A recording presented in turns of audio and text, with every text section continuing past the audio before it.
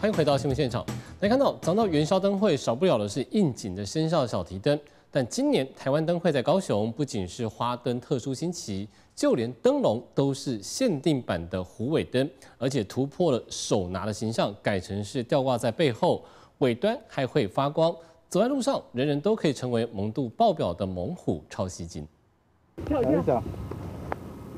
小朋友蹦蹦跳跳，后方的老虎尾巴跟着甩呀甩，超萌超吸睛。不过可别小看这根尾巴，白天可以 cosplay 小老虎，到了晚上还是新型灯笼。好，可以。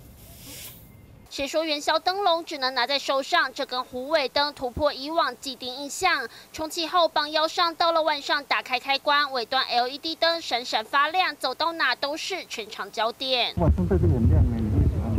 会啊，感觉很可爱的。